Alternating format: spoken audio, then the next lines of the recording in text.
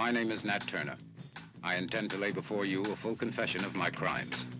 On August 21st, 1831, 55 whites were massacred by me and 70 other slaves.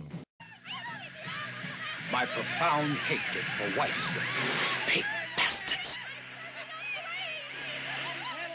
My profound hatred was the will of God who ordered me to kill.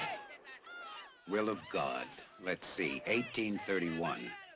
If Cleaver, LeRoi Jones, Malcolm X had lived 150 years ago like Nat Turner, would they have believed that their hatred of whites, men, women, and children was according to God's will? Who knows if today's whites are really any different than they were in Nat Turner's time? Or better yet, let's say that today's whites are different. Would there be this difference if Nat Turner had never existed? Come on, honey, no. Would they have let me go to their schools, Yes, I can. become a doctor, earn a decent living, have a nice house, a wife, children, well nourished and healthy?